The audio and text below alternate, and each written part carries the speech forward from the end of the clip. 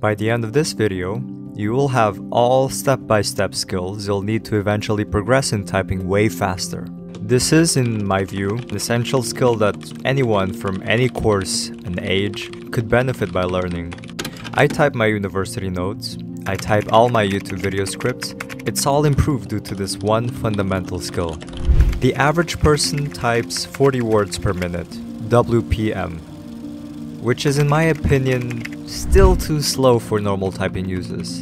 And you can so easily progress to maybe 60 or even 80 words per minute within a few months.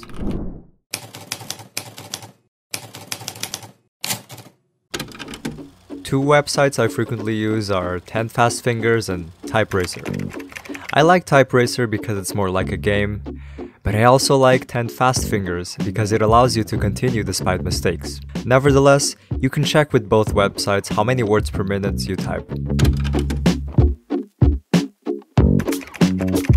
If you type like this, or gamers, I see you with this position with your left hand in WASD, it's time to substitute it with a proper method. This image is the fundamental position to start. You use each finger for each section, and your goal is to start typing without ever looking at your keyboard. This will seem slow at first, because you're not used to it. But trust me, you will reap the benefits way later on if you know this method. A useful shortcut to also learn is Control plus backspace. Instead of spamming the delete key for every error, you use this shortcut to quickly delete the whole word. And well, look at that, you're above average. Congratulations. But let's not stop here. At this medium level, you can save a lot of time by starting to practice to look at the next word while currently typing the previous one. Let me give you this simple example. Mountain, number, example. While I'm typing mountain, my eyes are already looking at number and processing. Ah, the next word's number.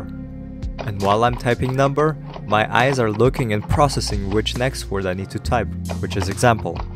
With this, you don't have to waste any time pausing between words to think which word you actually need to type. Progress felt for me pretty slow at 90 words per minute, but just keep practicing. And also give yourself small goals. Like, I was super happy when I reached on average 80 words per minute, because in TypeRacer, they call you a mega racer which made me very proud.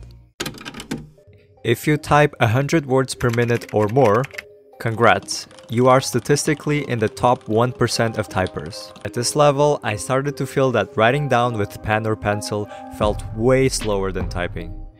Your thoughts just flow better when typing. And my last valuable tip is to start thinking of words as one stroke of keys. For example, to type person, you want to basically let your fingers touch the keyboard and in one stroke write person. Person. This might be a bit overwhelming to you, but you can start slower. For example, by thinking of words as syllables. Per, sun.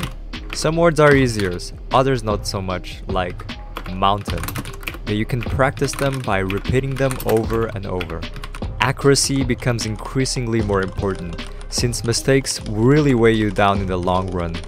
This is something I'm trying to still practice in order to even reach 140 or 150 words per minute.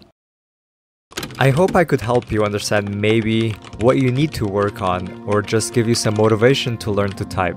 I do it in small bursts of time whenever I have time before a lecture or just at home. It is completely normal to sometimes feel stuck and that you're not improving. But with these tips and with consistent practice, I'm sure you and me can still continue to improve.